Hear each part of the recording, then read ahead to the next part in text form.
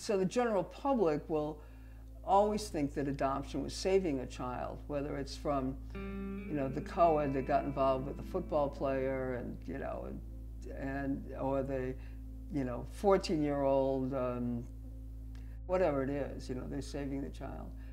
Adoption's been around forever and ever and ever, obviously, because children lost parents when things, when families were poor, they didn't have welfare, they put their kids in orphanages.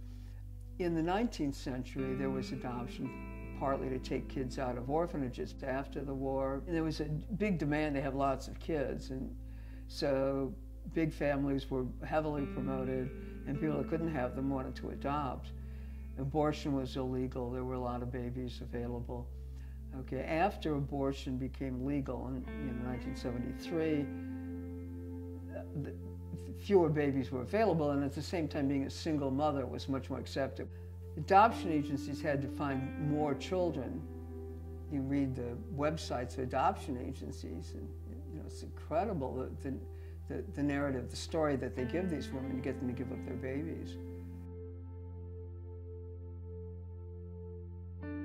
The pitch to women with unplanned pregnancies, it is give your child a better life.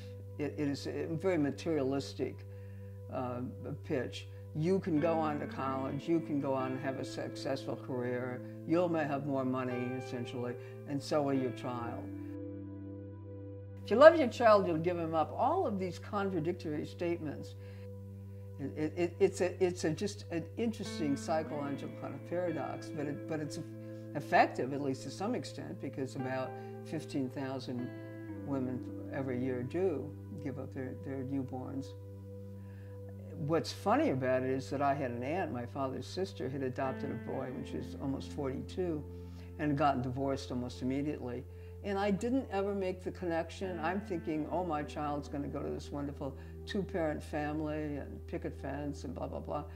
That that was, in fact, the closest experience I had to adoption was not the case. But I'd always heard how wonderful it was for Aunt Katie that she had gotten Mikey. Wasn't that wonderful? And I never thought about was that wonderful for Mikey? Was that wonderful for his, his birth mother?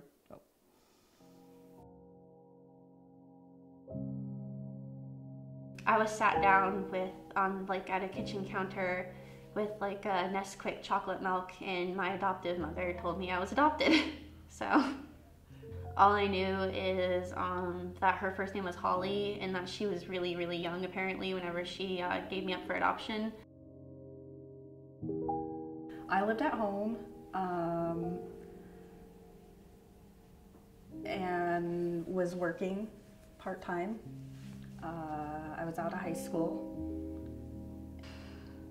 For me, it was just kind of like, oh, you know, like I, I could have had like a different set of parents and I could have lived somewhere else and I, I could have changed and been a completely different person than who I am now if I would have grown up and been with them why didn't my mom keep me or where do I really belong or just having that kind of identity crisis in a way.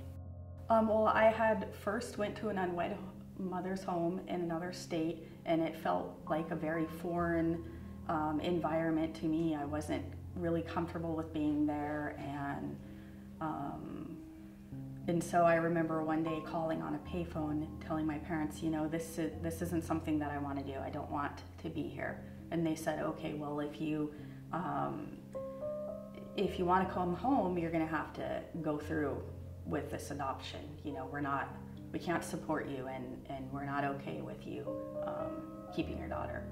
And there was a couple that lived in another state that um, they had two children of their own, but then they couldn't have more, and so they wanted um, another child, and that's where my daughter ended up going.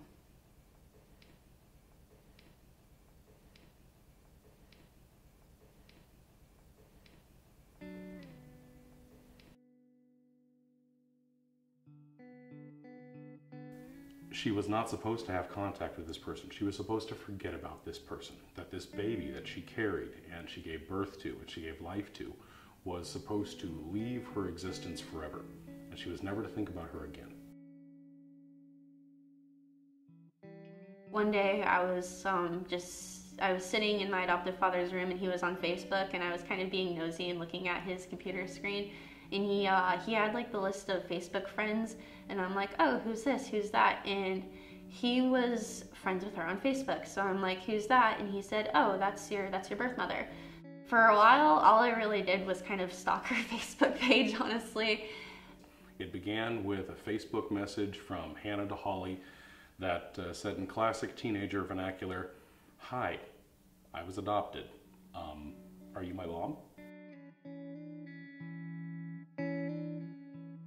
When she reached out to me, um, I just kind of, uh, I let her kind of talk a little bit, you know, and just to kind of see, um, you know, how things are going and if she wanted to talk to me or you know I, I don't know if she was going to be upset or if she felt like you know i would reject her or you know. So over the next two years we spent some time getting ready for hannah to come meet us um, we set up a, a, room in our home to be kind of a, uh, a visitor suite for someone who was our flesh and blood and yet a stranger um, a teenage girl who was practically a young adult in her own right, who had her own family history, her own taste, her own style, her own needs, separate from how we and our children had grown together. Uh, so I set about trying to make her a refuge. And everything that we were trying to do was about allowing her to feel welcomed in both families so that she could heal whatever losses she experienced by losing her mother before she knew her and not feel that she had to be torn away from her other family. It was just it was kind of just getting used to one another honestly in my opinion and not just with my mom but with my dad and then my siblings and everything it was just trying to get to know one another because there was that whole time where you just you didn't know them. It's almost like strangers, and then having to go and meet them and get to know them. Where I lived, I it was just completely different 180 type of lifestyle. It was going from there to going to here is just it's completely different. Things had gotten far harder for her than she was willing to admit to us at the time or to her adoptive dad. And it wasn't going well I, I think her, her future would, had, would have been a very difficult path from that point forward. You know, did she have that great life that people had told me she would have? Because I was supposed to not think about me and I was supposed to think about my daughter and, you know, give her a better life with a mom and a dad and, and not me. In a sense though i guess i just was tired of the dysfunction and the life i was living and I felt like I deserved better. I decided, you know what, sure, I, I want to live here and I want to move here. And I was the only one that like decided. I mean, no one else lives here, like not my adoptive father or my adoptive mother or anyone like that. It was just, it was me.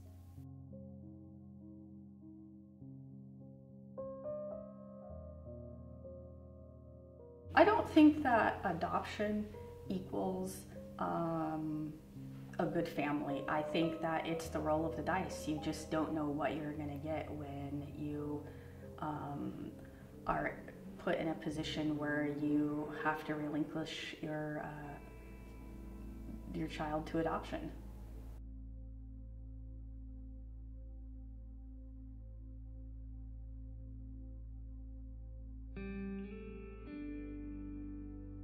It's, it's a very, I love my room. It's really, really cute. Um, it has um, my favorite animal is owls, so it kind of has like these little owls kind of placed like in cute little places and everything. And I have like a really pretty, cute um, purple and gray and white comforter and like a bunch of pillows on my bed and just it's it's a really cute room. But like the the thing that gets me about my room is that above my bed I have like so you know like the letter um like the it's like like sayings and it's like in the letters and you can kind of stick them to the wall. You, um, it, it says uh, um, love loved you still. I'm trying to remember what it. it I'm trying to remember exactly what it said.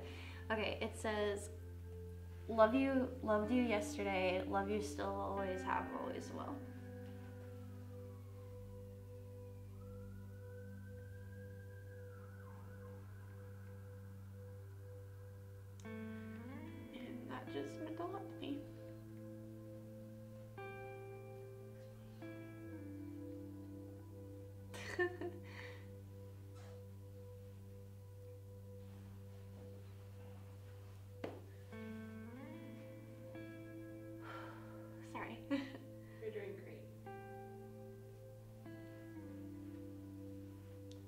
Just um, it just it just means a lot to me because uh, growing up I never really I'm not saying I didn't feel loved or I didn't really feel cared about but it's it's not that same type of love or that same type of care that that I wanted.